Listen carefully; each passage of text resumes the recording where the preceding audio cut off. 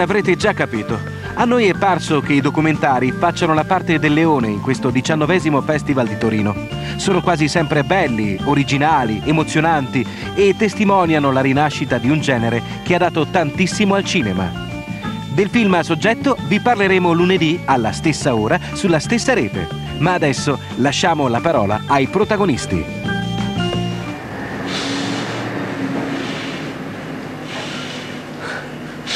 Devo giocare tre giorni. Siamo a Torino in un bar che si chiama American Stars per parlare di un cantante nato a Torino ma che era più americano degli americani, Fred Buscaglione.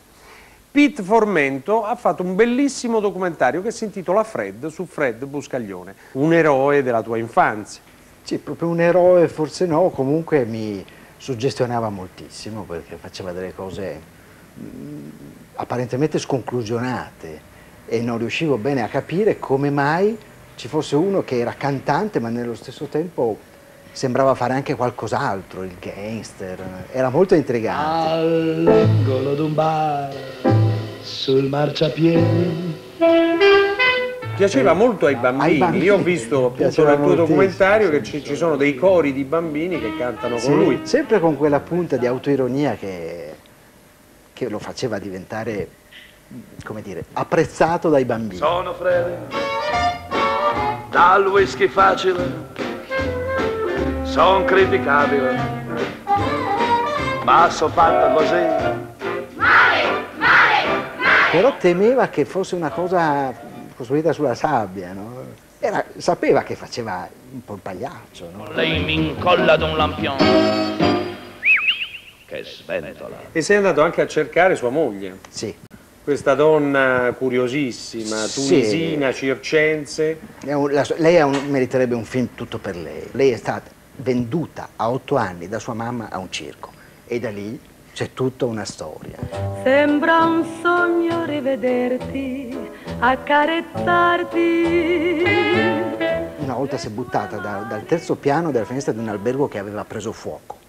E, e si è salvata. È sopravvissuta anche a quello. Eh. Beh, lì il circo aiuta. aiuta. e c'è anche un rapporto alcolico fra i due. Cioè... Bevevano molto, bevevano molto chi lo sopportava meglio, chi lo, lo sopportava peggio. Sia lei che Fred bevevano una bottiglia di whisky a testa liscia per, al giorno. Poi quando la senti cantare de, ti ricorda Billie Holiday, no? c'è questo mondo dietro che la giustifica in qualche modo, no? va bene così, loro sono così. Embrace me, you irreplaceable you. Io credo che lui non abbia rifiutato di andare in America eh, probabilmente sarebbe tornato indietro. Mm.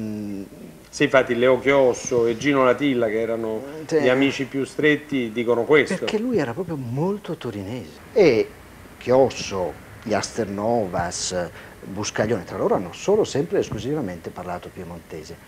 Per cui, mm, sai com'è? Eh, come per dirla con Canetti, non si abita un paese ma si abita una lingua lui non poteva che, che essere molto torinese. Insomma. Prima che finisca questa sigaretta, tu mi dirai di sì. Secondo me è un po' come quel signore che abbiamo qua dietro, come Jimmy Dean. Tra l'altro questa morte assurda con una macchina come quella che abbiamo davanti a noi, all'alba a Roma. A lui è toccato così ed è morto come, come, in una sua canzone, ce ne vuole. Eh. Sì, appunto, per questo dico, mi ricordo sempre eh beh, questo, certo, certo, questo certo. signore qui. Certo. Bravo Pete, Grazie. adesso andiamo via con questa macchina. Ce ne andiamo con questa macchina. Che è bellissima. Dai, dai, io sono volubile. Andiamo piano, diciamo Assolutamente.